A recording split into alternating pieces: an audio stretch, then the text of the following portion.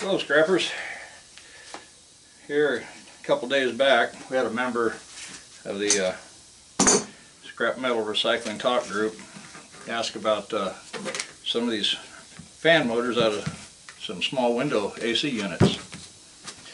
Wondering how much was in them. And uh, so I thought I'd uh, go ahead and tear a couple down, do a little video.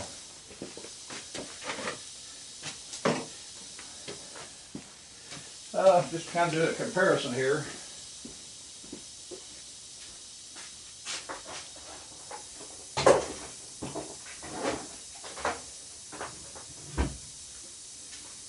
It's kind of an afterthought. Afterthought of setting this thing up. Thought I'd uh, go ahead and weigh these, kind of give you an idea of I'm not going to do all the math.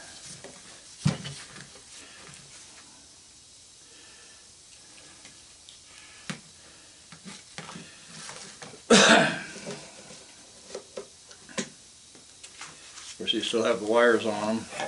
But get an idea what they weigh. I'm not sure what the going rate is for copper bearing motors, but we got uh, 9 pounds 15 ounces. Might as well say 10 pounds. So if it's 8 cents a pound, what's that, 80 cents?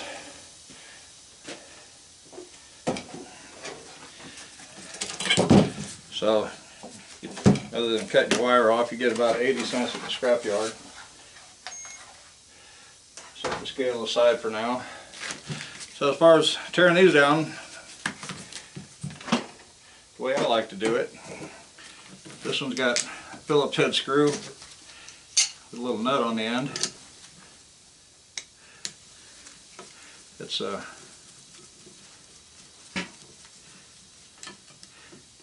I'll bring this closer to the camera here in a second. I guess I probably could have set the camera a little closer.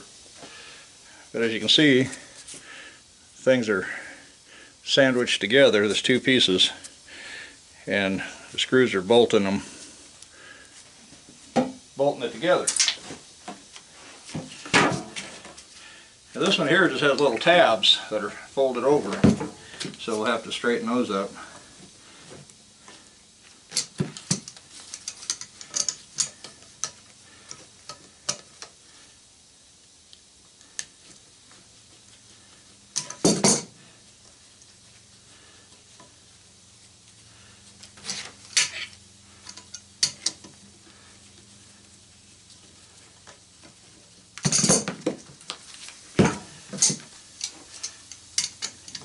To work today, so come home, worked on my project till it got dark. Okay, that one wants to play hard to get.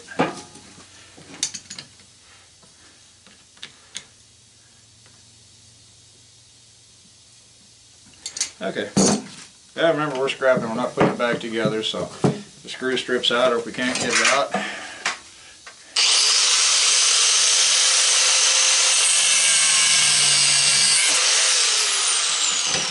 pop it off.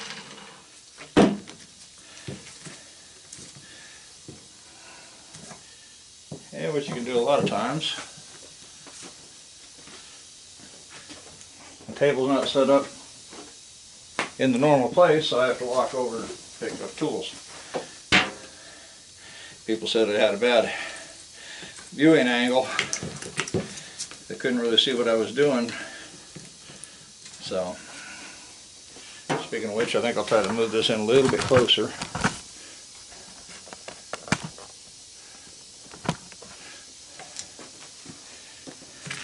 Now you can either pry these apart. Sometimes they can be a pain. So, a lot of times what I do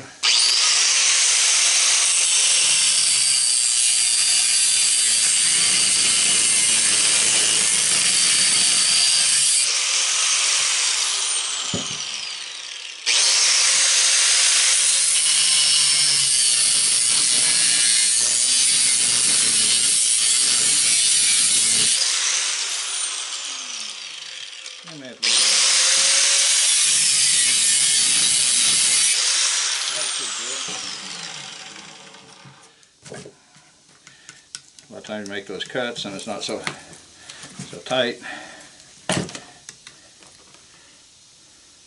Yeah. I missed a screw. I know a lot of people this won't be worth the effort. Some of the, some of you guys got got your hands tied up just trying to keep up with your workload as it is.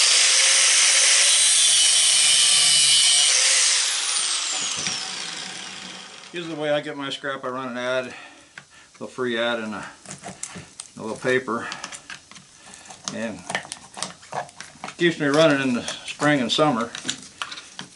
But uh, that ad goes out about 50 mile radius, and uh, I don't really want to go after 50 miles out, hour drive out to get a refrigerator.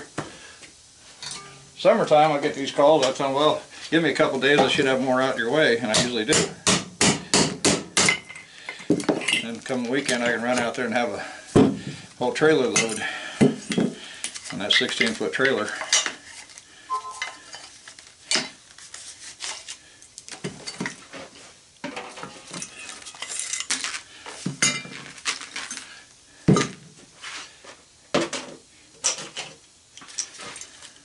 I got one of these box knives with a little hook, hook blade, a lot of guys use for roofing.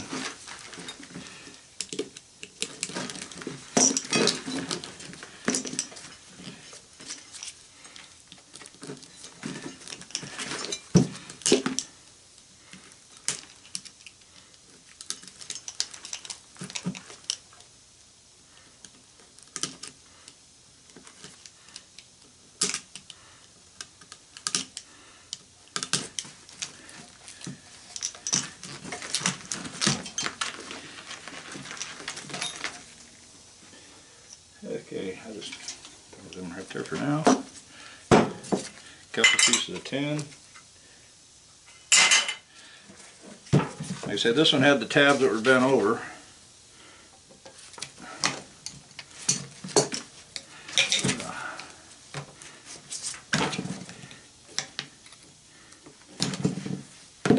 They work better with channel locks.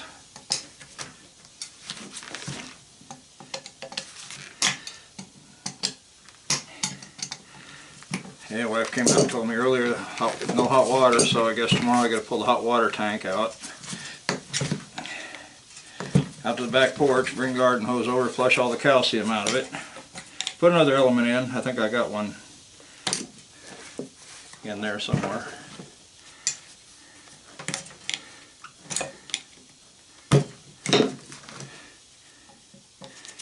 That's about an hour job or so, and then what I'm doing, I'm making a can cage for all my aluminum cans. Have big uh, wire baskets I put them in.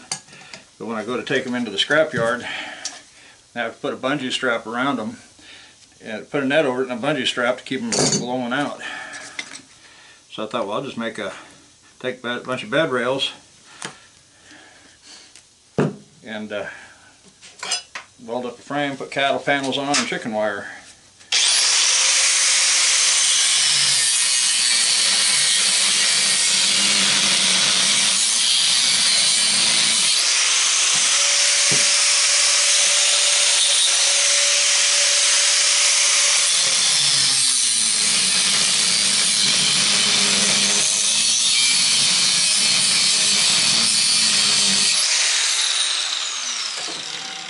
I've got the b- basic frame of the cage built and everything except the end doors where I'll be unloading the cans from. I got a top door in it for dumping the cans in.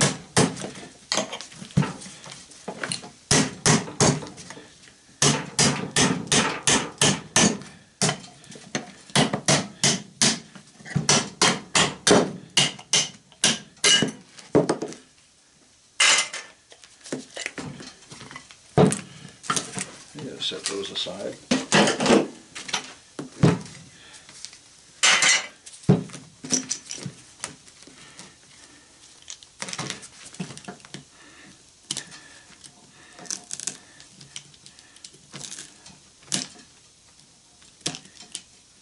Yeah, I think I'm gonna have to reposition this blade. It barely sticks out of the knife and it's kind of awkward.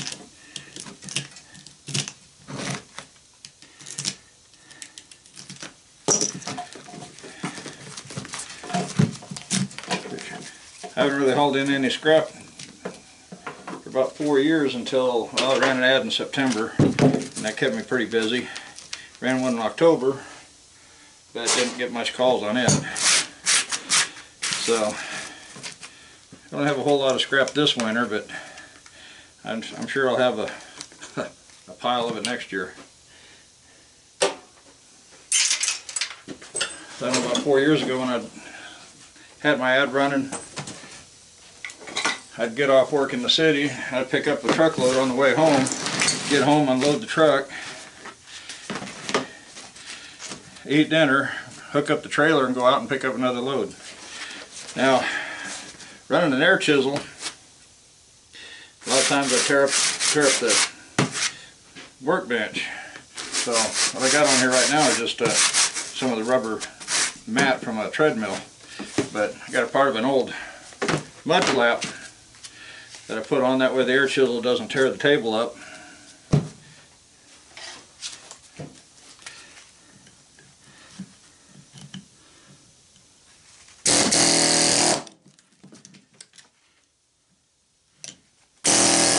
Hopefully that air compressor won't be quite so noisy when I when it kicks in. I moved it out of the corner here behind me, about where this box fan is sitting.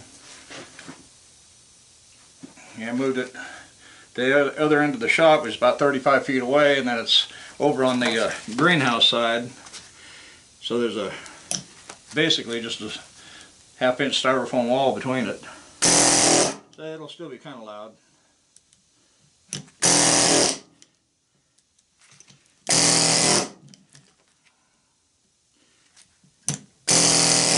Probably should have set up my other lights over here to before I started started recording, but I think I think we have sufficient light for the video.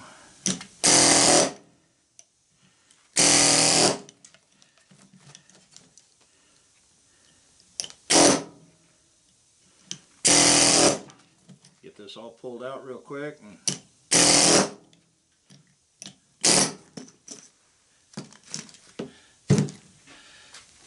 Yeah, something I could probably do real fast here, pull the scale out.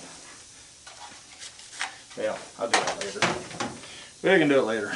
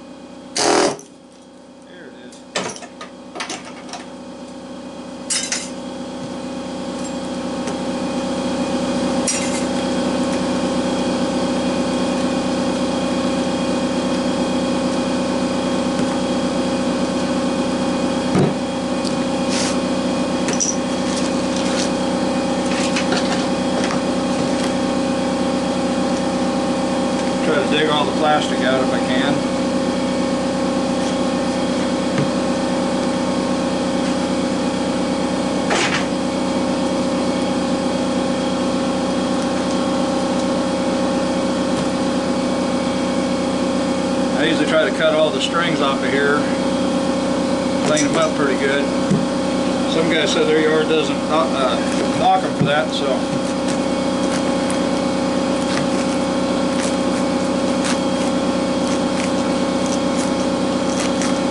I'll try to get these out quick, get a weight so you can kind of see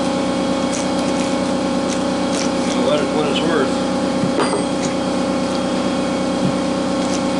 Yeah, someone commented the other day about this little pry bar, and uh, I've had this thing several years. I bought it in a set. I don't remember if there's three or four pry bars in the set.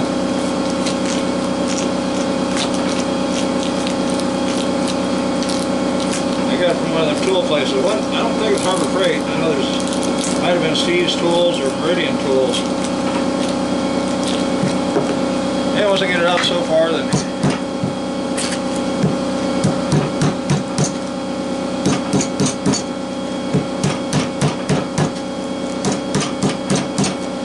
Sometimes they come right out that way, sometimes they don't.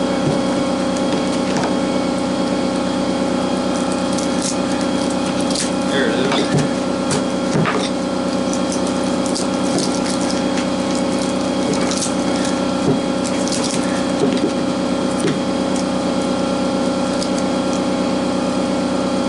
I think most of the weight's right there, and that's go for short iron.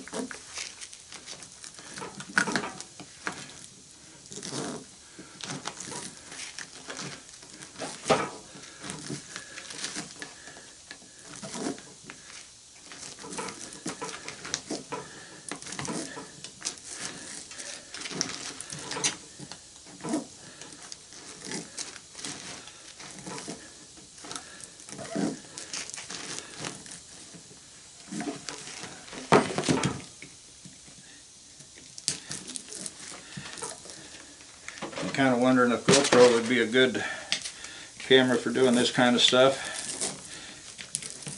Might give you more of a view of what I'm seeing.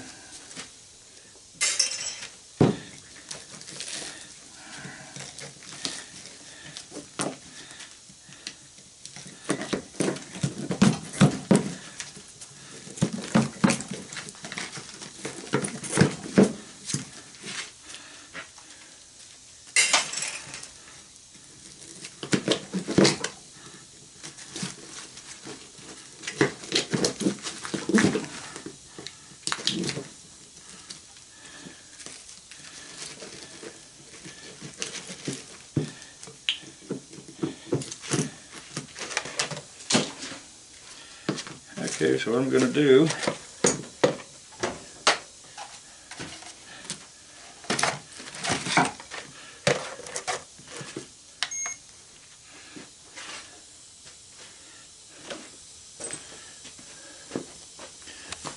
I'm not sure if you can see that or not.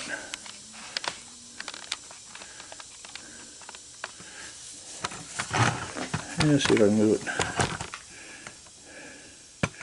These are getting too much glare.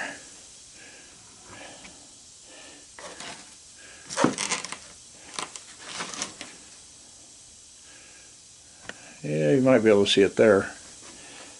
Okay, I got that zeroed out right there. Put that copper in there.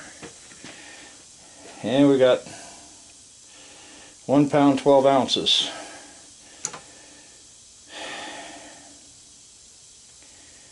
So we get a dollar the other way.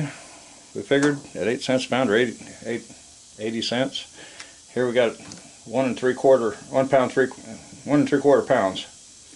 So if it's kind of rounded out to close to, it's be almost two dollars a pound, dollar eighty something like that.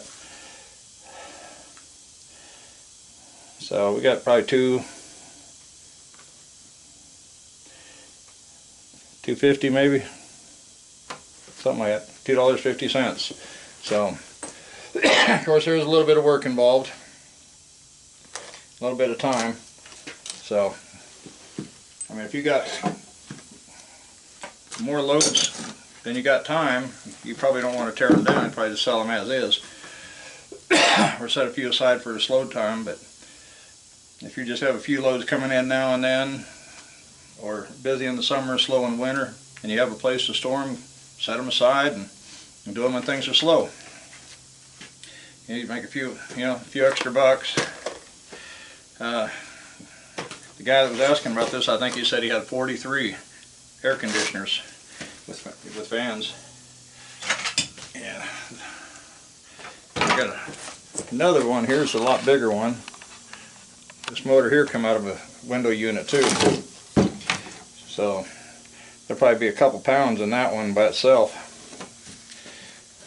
Well, I'll tear that one down another day. Uh, if you enjoyed this video and found it informative, educational, interesting, uh, go ahead and please subscribe. I could use the subscribers. Uh, share it with your friends. Tell your friends about my channel if you want to see more. Uh, hit that bell. So, I guess that's it for this video. and We'll see you later. Keep scrapping, folks.